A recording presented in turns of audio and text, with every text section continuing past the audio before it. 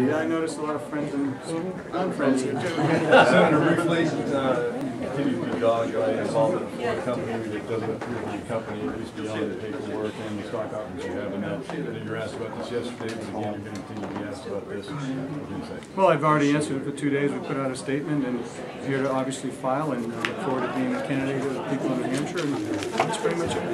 What does this company do? Uh, they are, like many other startup companies, they're going through a transition. They're trying to create jobs, ultimately come up with a plan to do so. Uh, I'm an advisor, as you know, I'm not involved in the day-to-day operations of it.